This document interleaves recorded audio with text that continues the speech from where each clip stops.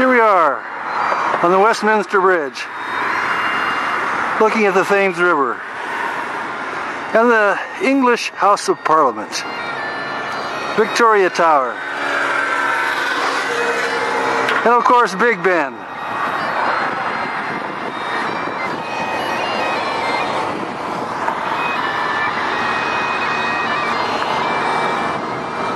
You got your double-decker buses.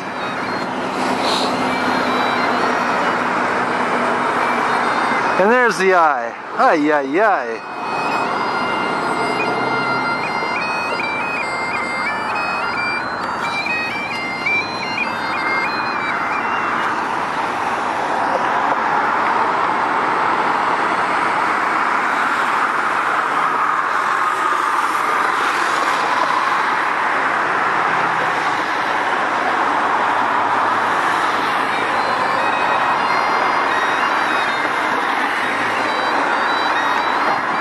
One of the most iconic sights in the world. London. London calling.